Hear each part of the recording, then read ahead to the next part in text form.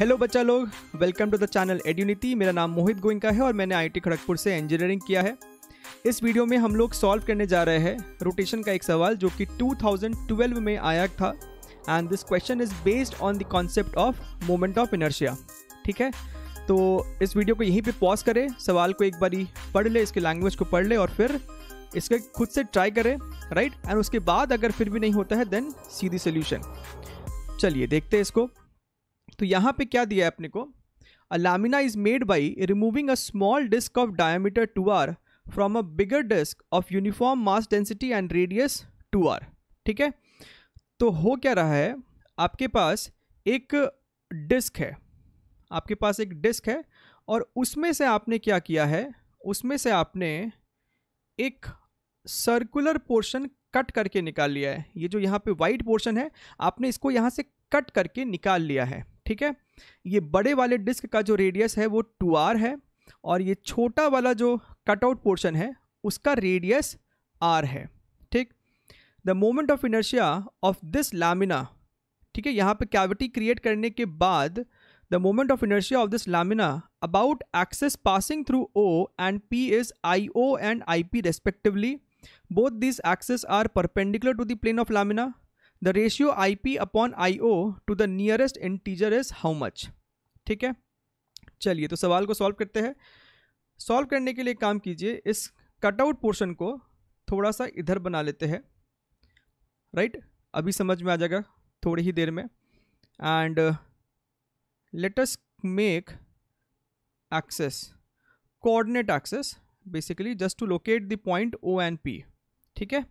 और इस चीज़ के लिए यहाँ पे अपना ओ है और कुछ दूर जाके यहाँ पे अपना ये पी पॉइंट है। ठीक है? इस केस में ये अपना ओ है और ये अपना पी पॉइंट है। ठीक? अच्छा इसका रेडियस भी लिख देते हैं। This disc and this cutout portion इसका रेडियस टू आर है और इसका रेडियस आर है। ठीक है?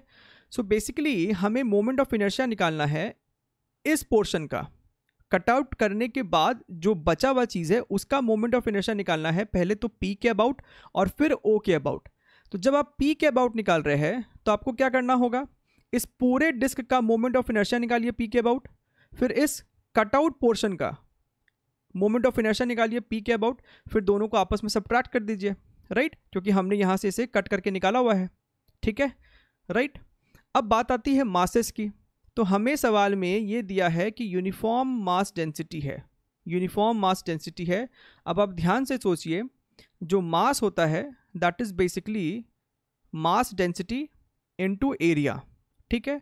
अब मास डेंसिटी तो कांस्टेंट है तो कैपिटल एम कहीं ना कहीं एरिया के प्रोपोर्शनल है। Area means pi R square right यानी कि मास जो है, वो रेडियस स्क्वायर के प्रोपोर्शनल है राइट अब यहाँ देखिए, ये रेडियस आर है और ये रेडियस टू आर है। तो यहाँ पे रेडियस ट्वाइस है, यहाँ पे रेडियस ट्वाइस है। अगर रेडियस ट्वाइस होगा तो मास फोर टाइम्स हो जाएगा। कहने का मतलब है कि अगर इस डिस्क का मास हमने एम माना है तो पूरे डिस्क का मास फोर एम है। पूरे डिस्क का मास फोर एम है। ठीक है? चलिए, ये बात तो क्लियर है। अब निकालते हैं what is moment of inertia about point P so about point P is going to be what suppose इसको हमने वन बोल दिया डिस्क को और इसको हमने टू बोला है। So it is going to be moment of inertia due to the first disc at P minus moment of inertia of the second disc about point P about point P तो I one minus I two करना होगा, ठीक है? जहाँ तक बात I one की है, आप जब इसके अबाउट मोमेंट ऑफ़ इनर्शिया लिख रहे हो तो आपको लगाना होगा पैरेलल एक्सिस थ्योरम राइट? तो पहले तो सेंटर ऑफ़ मास से पास करने वाला moment of inertia plus this M D square right तो ध्यान से देखिएगा, ये आई वन कितना हो जाएगा? सेंटर ऑफ़ मास से पहले डिस्क का M R square by two होता है which means four M radius is two R so two R का square divided by two right plus M D square करना होगा so four M distance is two R O से P का दूरी two R है so this is two R square. Minus I two यानी कि इस वाले पोर्शन का पी के अबाउट मोमेंट ऑफ़ इनर्शिया। तो फिर से वही करना होगा, सेंटर ऑफ़ मास से पास करने वाला moment of inertia plus this M D square, right? ध्यान से देखिए, उसका मास एम है, रेडियस आर तो M R square by two plus mass into distance square अब डिस्टेंस कितना होगा? ये आपका आर है, ये O P distance two R है तो क्या ये डिस्टेंस नहीं निकल जाएगा? यही तो डी है। पाइथागोरस से निकालिए, ये आपको आएगा रूट फाइव आर यानी कि यहाँ पे रूट फाइव आर का whole square which is basically five R square ठीक? अच्छा अब देखिए।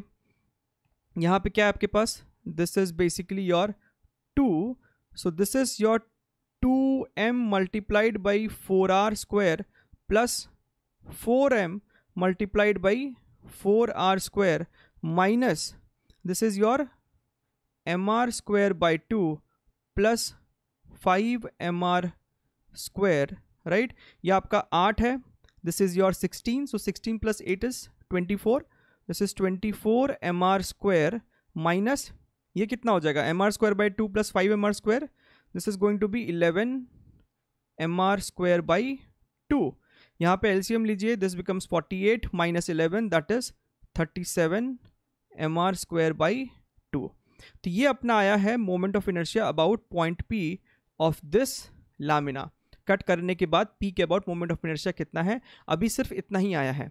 अब हमें निकालना है moment of inertia about point O about point O ठीक है? तो प्रोसेस वैसा ही रहेगा।